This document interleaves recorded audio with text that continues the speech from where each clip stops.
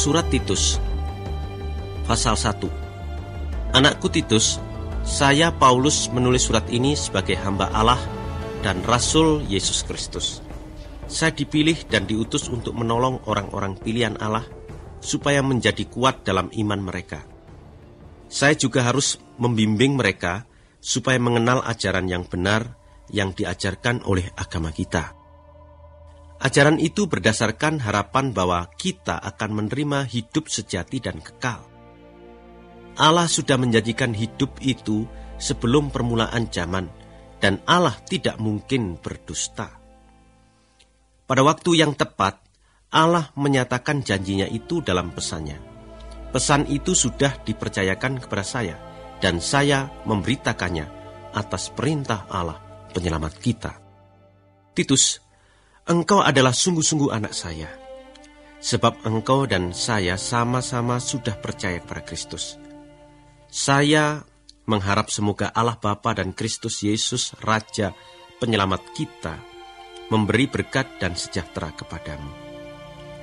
Saya meninggalkan engkau di Kreta supaya engkau dapat mengurus hal-hal yang masih perlu diatur. Juga supaya engkau mengangkat pemimpin-pemimpin jemaat di setiap kota. Dan ingatlah akan petunjuk-petunjuk saya ini. Seorang pemimpin jemaat hendaklah seorang yang tanpa celah. Ia harus mempunyai hanya seorang istri. Anak-anaknya harus sudah percaya kepada Kristus dan bukan yang dikenal sebagai anak berandal dan yang tidak bisa diatur. Penilik jemaat adalah orang yang mengurus pekerjaan Allah ia tidak boleh bercelah. Ia tidak boleh sombong atau pemarah, atau pemabuk, atau suka berkelahi, atau mata duitan. Ia harus senang menerima orang di rumahnya, suka akan hal-hal yang baik, dapat menahan diri, jujur, suci, dan tertib. Ia harus berpegang teguh pada ajaran yang dapat dipercaya, seperti yang sudah diajarkan kepadanya dengan demikian, ia sanggup menasihati orang berdasarkan ajaran yang benar dan menunjukkan kesalahan orang-orang yang menentangnya.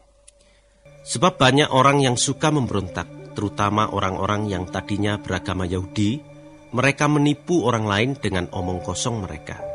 Orang-orang seperti itu harus ditutup mulutnya, sebab mereka mengacaukan banyak keluarga dengan ajaran-ajaran yang tidak-tidak.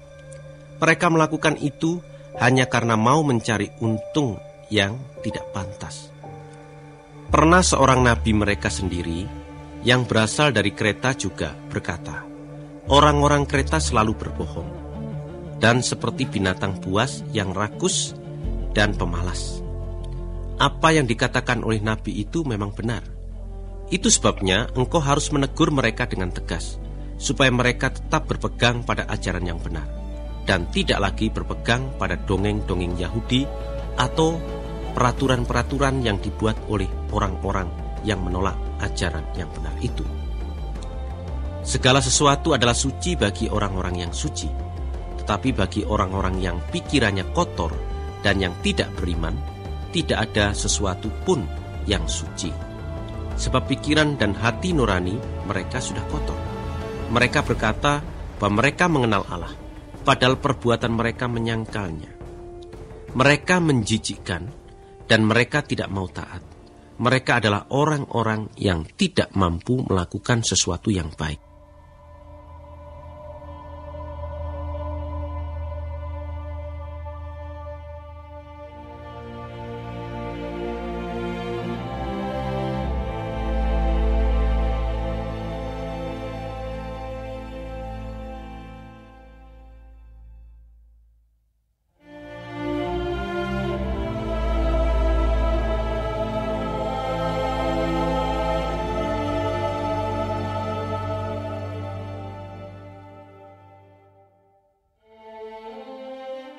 Pasal 2. Tetapi engkau, Titus, hendaklah engkau mengajarkan ajaran yang tepat. Nasihatilah orang laki-laki yang tua, supaya mereka menahan diri, bijaksana, dan hidup sebagai orang yang patut dihormati. Mereka harus juga berpegang pada ajaran yang benar dari Allah, mengasihi dengan sempurna, dan menderita dengan tabah begitu juga hendaklah engkau menasihati wanita-wanita yang tua supaya kelakuan mereka sesuai dengan apa yang patut bagi orang yang hidup khusus bagi Allah. Mereka tidak boleh memfitnah orang lain dan tidak boleh ketagihan minuman keras. Mereka harus mengajarkan hal-hal yang baik supaya dengan itu mereka dapat mendidik wanita-wanita muda untuk mengasihi suami dan anak-anak. Menjadi bijaksana, hidup suci, dan menjadi ibu rumah tangga yang baik yang tunduk kepada suaminya. Dengan demikian, tidak ada orang yang dapat mencela berita dari Allah. Begitu juga, nasihatilah orang-orang muda supaya mereka menjadi bijaksana. Dalam segala hal, hendaklah engkau menjadi teladan kelakuan yang baik. Kalau engkau mengajar, engkau harus jujur dan bersungguh-sungguh. Pakailah kata-kata yang bijaksana, yang tidak dapat dicela orang, supaya lawan-lawanmu menjadi malu karena tidak ada hal-hal buruk yang dapat mereka katakan tentang kita. Hamba-hamba harus tunduk kepada tuannya dan menyenangkan hatinya dalam segala hal. Mereka tidak boleh membantah atau mencuri. Hendaklah mereka menunjukkan bahwa mereka selalu bersikap baik dan setia, supaya dengan sikap mereka itu orang memuji ajaran tentang Allah, penyelamat kita. Sebab Allah sudah menunjukkan rahmatnya guna menyelamatkan seluruh umat manusia. Rahmat Allah itu mendidik kita supaya tidak lagi hidup berlawanan dengan kehendak Allah dan tidak menuruti keinginan duniawi. Kita dididik untuk hidup dalam dunia ini dengan tahu, menahan diri, tulus dan setia kepada Allah. Sekarang kita sedang menantikan hari yang kita harap-harapkan itu. Pada hari itu dunia akan melihat keagungan Yesus Kristus, yaitu Allah Maha Besar dan Raja Penyelamat kita. Ia sudah mengorbankan dirinya bagi kita untuk membebaskan kita dari segala kejahatan dan menjadikan kita suatu umat yang bebas dari dosa dan yang menjadi miliknya saja, serta yang rajin berbuat baik. Ajarkanlah semuanya itu, dan nasihatilah serta tegurlah para pendengarmu dengan penuh wibawa. Janganlah membiarkan seorang pun memandang engkau rendah.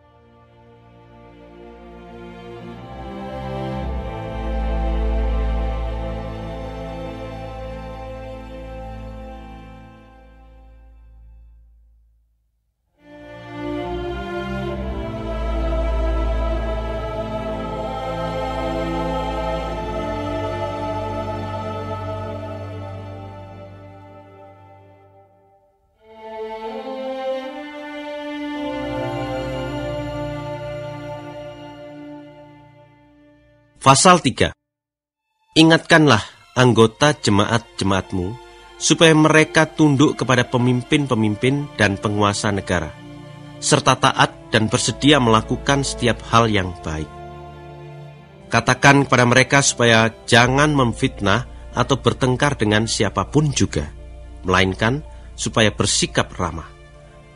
Hendaklah mereka selalu bersikap lemah lembut terhadap semua orang Sebab dahulu kita sendiri juga bodoh, sesat dan tidak taat. Kita diperhamba oleh bermacam-macam nafsu dan keinginan.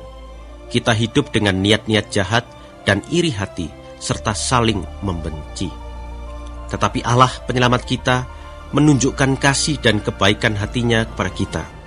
Ia menyelamatkan kita, bukan karena kita sudah melakukan sesuatu yang baik, melainkan karena ia sendiri mengasihani kita. Ia menyelamatkan kita melalui roh Allah yang memberikan kita kelahiran baru dan hidup baru dengan jalan membasuh kita. Allah mencurahkan rohnya kepada kita dengan perantaraan Yesus Kristus, Raja Penyelamat kita. Supaya oleh rahmat Yesus kita berbaik kembali dengan Allah dan kita mendapat hidup sejati dan kekal yang kita harap-harapkan. Perkataan ini sungguh benar. Saya mau engkau menekankan hal, hal ini, supaya orang-orang yang percaya kepada Allah sungguh-sungguh berusaha untuk melakukan pekerjaan-pekerjaan yang baik dan berguna untuk semua orang. Jauhilah perdebatan-perdebatan yang tidak berguna, cerita-cerita asal-usul, pertengkaran, dan perkelahian mengenai hukum agama.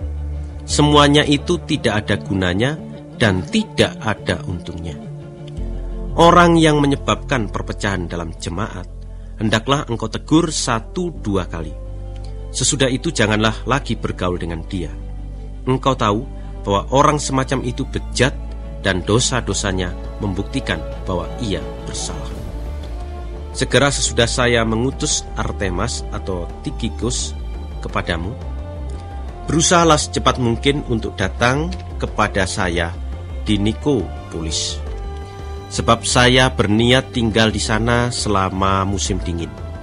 Berusahalah sungguh-sungguh untuk membantu Senas ahli hukum itu dan Apolos supaya mereka bisa berangkat dan tidak kekurangan apa-apa. Orang-orang kita harus belajar melakukan hal-hal yang baik supaya dapat memenuhi kebutuhan-kebutuhan yang sangat diperlukan. Jangan sampai mereka hidup tidak berguna. Semua saudara yang ada bersama saya mengirim salam kepadamu. Sampaikanlah salam kami kepada kawan-kawan kita yang seiman. Semoga Tuhan memberkati saudara semua.